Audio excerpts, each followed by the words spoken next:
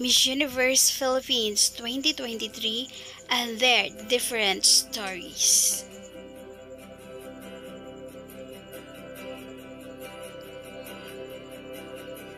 My story starts at home. This was the first condo that we owned as a family. I remember when I was much younger, we used to just rent and move to a different place every year. During my childhood, I remember how my parents used to fight a lot. And for a time, we were a broken family.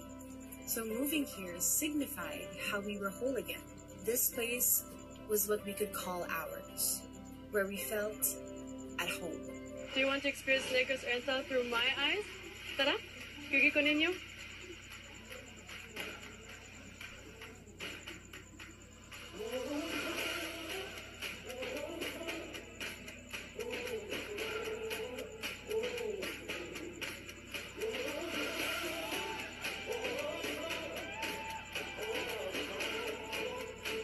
Feels nostalgic revisiting this childhood tale and hiking to the top of the island. Like many things in life, the little dreams I had when I was a kid didn't turn out the way I expected it to be. Like in pageantry, there is so much sacrifice outside the glitz and glamour. But despite the climb, reality can just be as beautiful as this view. When I needed to be reminded to persevere, the Hikan Beach always holds a special place in my heart. When I was still a kid, I would swim here with my siblings and cousins wearing our pambahay clothes, and it was one of our fondest memories. Now that I'm a beauty queen, I get to strut my stuff in a swimsuit.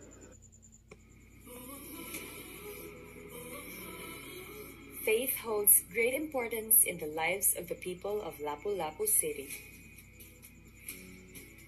At the heart of it all is the Oponganon's devotion to Our Lady of the Rule, locally known as Berhen sa Regla, a part of our religious and cultural heritage that continues to be a source of hope and inspiration for the Cebuanos. Nawan, province of Batangas. Growing up in a large family, being the second eldest child among five siblings, there has been a lot of trying and challenging times for us. During my university years, I have learned to be independent and versatile. I had to take every possible opportunity to hustle, especially in the pageant industry, so that I can self-sustain and not rely so much on my parents. Porch of our humble home and the verdant fields of the mountain with my grandparents. I feel nostalgic, how we shared countless beautiful moments and how they taught me all I needed to know about life. I had a happy life when I was a child and experienced some unforgettable moments. I can recall how my lolo taught me to weave pogaran for our hands using coconut leaves. Also, he taught me how fun it is to be under the sun during harvest season. Southern Leyte, being my province, has witnessed how I lived the best years of my life. It will always have a special place in my heart. Ganun lang din yung nag-cheer up sa mga bata eh, lalo na kung separated the parents, na pa-feel mo na hindi sila incomplete. The best moment I remember with Zohan, I think every time birthday namin. Because we share the same birthday.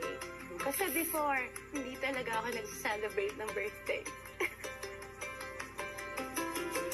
The pristine land and waters, the freedom in wilderness, and diversity of cultures, the home of Mangyan and Tamaraws.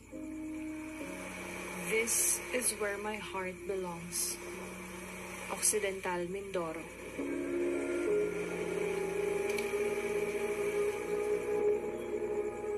The simplicity of life here radiates that feeling of contentment in everything that is available for me. as a Provincianang Mindoreña, I was raised to embrace individuality in differences. In 2017, I experienced one of the best years of my life. I was crowned as Binibining Turismo, Binibining ni Maropa Festival second runner-up. And after a few days of these pageants, I passed the licensure examination for teachers. I tried teaching in different schools, but my heart is for teaching in public school. I was stationed in a geographically isolated area. There, I experienced life away from the hustles of the world with no electricity and internet connectivity. I have been in the simplest life that I never imagined.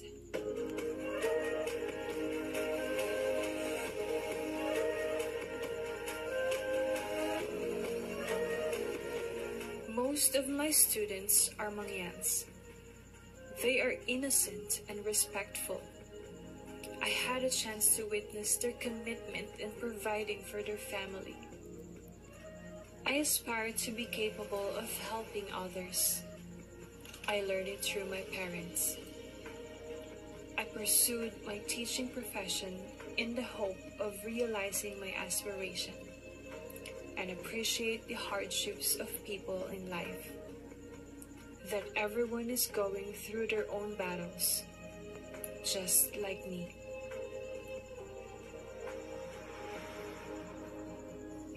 With my life experiences and principles, I believe that no matter what race you came from, whatever color your skin has, and no matter background you have at your back, we are all human.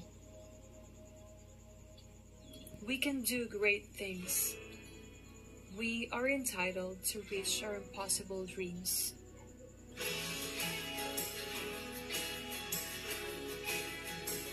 Health is wealth, as the saying goes. Aside from freshly harvested food, my body and soul were strengthened by nature. This is my gym. I work out as I appreciate how beautiful the world is.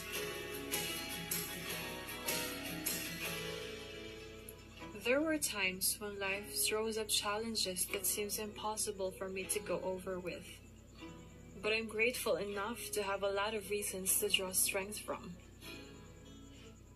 I was grateful that the Municipal Tourism, Culture and the Arts Office was generous enough to welcome me when I must give up teaching due to health reasons. That is when my love for cultural and natural heritage becomes stronger. I gotta map different heritage in my town and learn how this affects the way of living of our people. Our heritage have withstood so much in the past, yet have managed to thrive, survive, and maintain their beauty.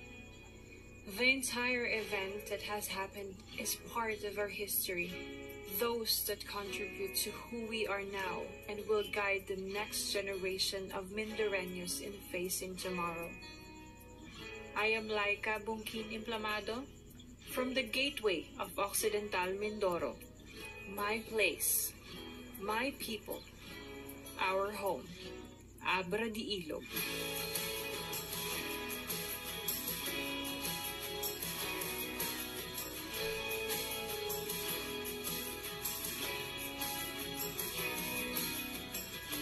Intricate, resilient, unique, beautiful. Such is a fabric. Such is a woman. At a young age, I cultivated a desire to serve my community. Today, I am serving as an SK chairperson of Tuba, a vibrant haven in lush Benguet. My name is Emmanuel. Nestled within me are a thousand stories to tell. The journey wherein healing upon me befell is a story that stars Cebu and myself. Growing up was tempestuous. My life was pervaded by mental illness. It plagued me debilitatingly. Battled with hardships, drowning ceaselessly. An uphill battle, the weight too heavy to bear. Waves, winds, turbulence, gasping for air. And a lot of people find me intimidating also, but it's the stories that build us up and the accumulation of our life decisions and our life choices that give us success.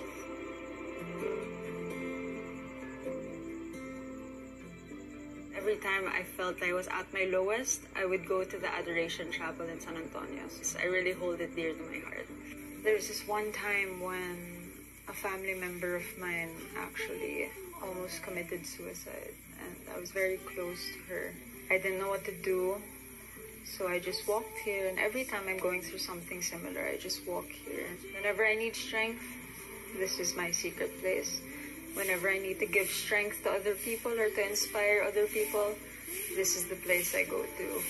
It is a big, big part of my story.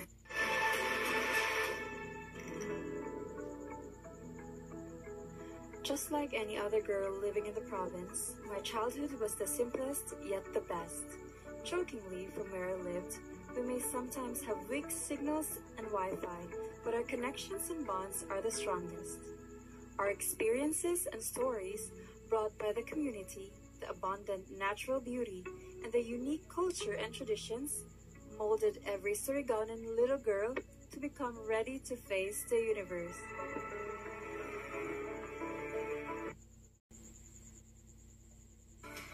As a way to connect with those who have felt forgotten in our society. Choice. It's a theme in my life. I chose to live. I chose to be happy despite the pain. I chose my new home, and now I'm choosing to inspire. Take you to the very heart of where my story began. Maya payaldo po kya kayo man. Yako po i Angelic Mato. Malawas ko po king kanakong pakamalan a Pampanga. Tara, muli tamo. Catching one flight to another. Exploring one spot to the next. I have been to so many places, yet I always find myself running back home.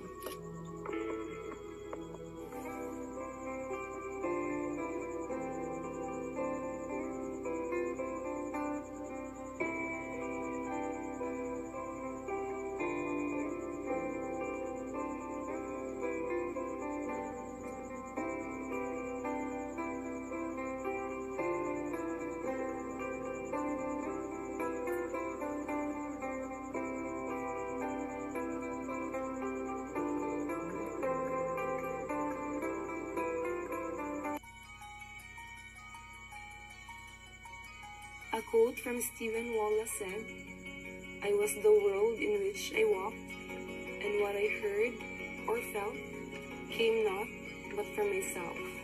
And there I found myself more truly, more strange.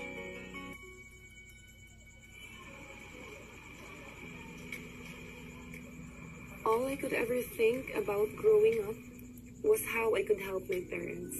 Coming from a modest background, we didn't have much, but we always seemed to have enough.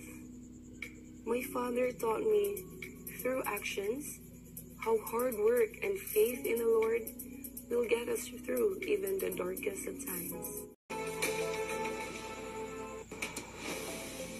Navigating our town meant harking back to good memories and tracing history that is preserved in our heritage structures. The legacy and success of those who have lived here in the past inspire me to aim higher and dream bigger. Ajung Adlaw, this is Bohol, and this is my story. Bohol is so many things, but to this Boholana Belgian, Bohol is home. A place of love, childhood memories, chocolate, and matamis nga kinampay. A place like for every traveler in Boholanon, I will always look forward to go back to. As a kid, I remember running around the garden surrounded by rice fields, chasing dragonflies and playing with the dogs and goats. I bet that little girl from before never imagined to join Miss Universe Philippines. Looking back at it all, Bohol really is the place where my appreciation and admiration for pageantry really started. When you're about to call it quits as only the first runner up of your municipal pageant, the universe still moves in such a way to direct you to a greater destiny